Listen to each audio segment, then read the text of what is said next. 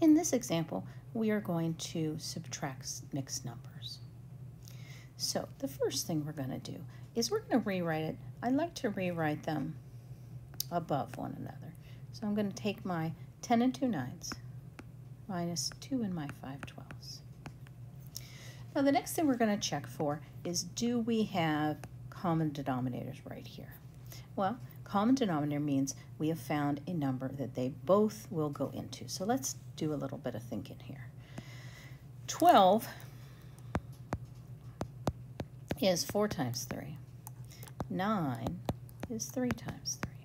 So what would their least common multiple be? Well, they both already have a 3 in common. The 12 has an extra 4. The 9 has an extra 3.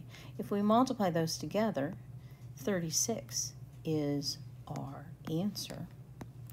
And that's exactly what we're going to use. And you can check. And, you know, if worse comes to worse, you can always just do 9 times 12 to find any multiple is a good good rule of thumb if, if worse comes to worse. Okay, so we're going to use 36. So now let's focus over here. So think, what do I multiply 9 by to get 36? That'd be 4. Do that on top and bottom. And on the bottom here, what do we multiply 12 by to get 36? That would be 3. So multiply that on top and bottom. And let's see what we get. Well, that's going to be 836. And this, this one here is going to be 1536. Okay, so we've got our denominators, common denominators. The next thing we're going to check for is do we have uh, enough um, to subtract? Meaning, is this number bigger than that number? Well, it isn't. 8 is not bigger than 15. So here's an example where we have to borrow. So how do you do it? Well, just like anything, we're going to go to the whole number spot right here, and we're going to take one off. So we're going to borrow from the 10 and make it 9. Now the one that we borrowed is going to be cut into 36. So all you do, whatever this denominator is, after getting common denominators, we're going to add that number. Okay, so 36 plus 8 is 44. Okay, so now let's check if we have everything. This number is bigger than this, this number. Denominators are common denominators. This is just a normal subtraction. Perfect, we're ready to go. Okay, so what do we get? Well, we do the subtraction, 44 minus 15. We're just going to subtract like normal, and that's going to be 29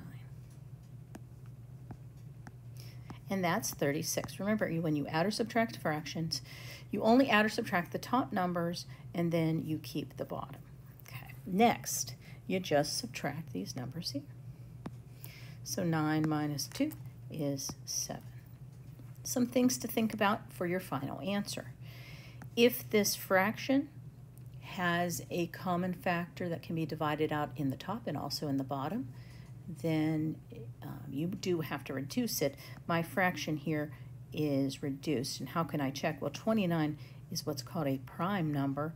It can't be broken down into anything but 1 times 29. 36, think of the things that go into 36. 2, 3, 6, um, 12, things like that, 9, 4. Um, those don't divide into 29, so that is our final answer.